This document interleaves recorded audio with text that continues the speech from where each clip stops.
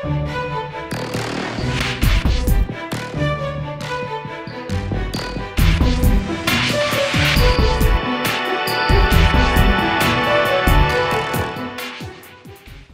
Tres personas han sido detenidos por robos en escuelas en el puerto de Veracruz. La delegada de la Secretaría de Educación en la región de Veracruz, Diana Santiago Huesca, afirmó que los robos a escuelas están castigando y habrá todo el peso de la ley contra quienes intenten cometer estos delitos.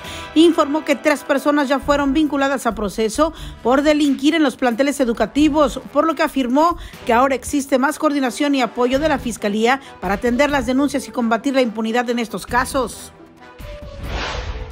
La mañana de este jueves, un hombre de aproximadamente 78 años de edad falleció de causas patológicas dentro de su domicilio. Al parecer vivía solo y los hechos se registraron en la calle Sarabia entre Avenida Américas y calle Pipila de la colonia José Cardel en el municipio de Jalapa. La Secretaría de Seguridad Pública, a través de la Policía Estatal y Fuerza Civil, detuvieron a siete personas por presuntos delitos contra la salud y portación de armas en hechos registrados en los municipios de Amatlán de los Reyes, Coatepec, Coatzacoalco, Río Blanco y Tecolutla.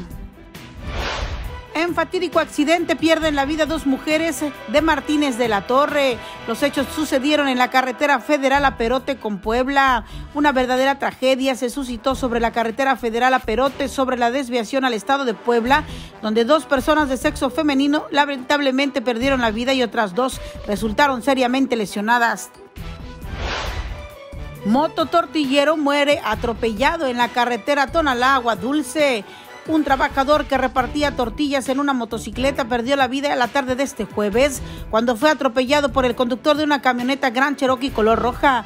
Los hechos sucedieron alrededor de las 4.30 horas y de acuerdo a testigos, la unidad era conducida a exceso de velocidad.